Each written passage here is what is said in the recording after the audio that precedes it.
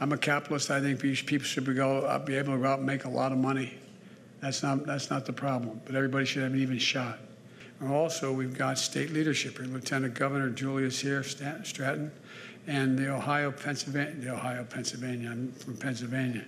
The uh, the the Illinois President of the uh, Don Harmon, State Senator Laura Murphy, State Rep. Uh, um, Martin Mo- uh, Mo- Moylan, and uh, we got great labor leaders here too. Tim, wh- where's Tim?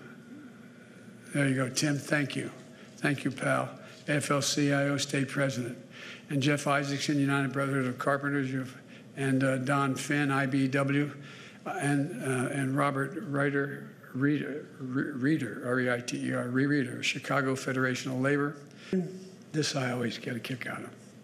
Fox News. Fox News requires vaccinations for all employees.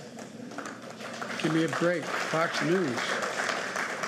One economist called vaccine requirements, and I quote, the single most powerful, he didn't say single, the most powerful economic stimulus ever enacted, end of quote. You know, if I can digress for just a second, last night I was on the television, uh, on television, I was on the telephone with uh, a person at an emergency hospital ward